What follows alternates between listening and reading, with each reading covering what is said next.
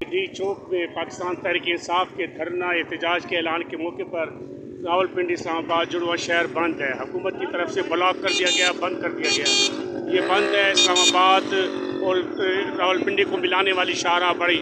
ये एयरपोर्ट के रास्ते और दीगर इलाकों को जाती है और ये सड़क बंद है। रावलपिंडी इस्लामाबाद जुड़वा शहर बंद कर दिया गया हुकूमत की जानब से।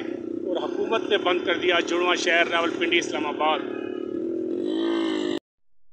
मनाजिर हैं रावलपिंडी इस्लामाबाद को बंद करने के हवाले के जो हुकूमत की तरफ़ से बंद किया गया है। पाकिस्तान तहरीक इंसाफ ने सबक वज़ी अजम इमरान खान की रिहाई के लिए डी चौक में धरने और एहतजाज का ऐलान किया है।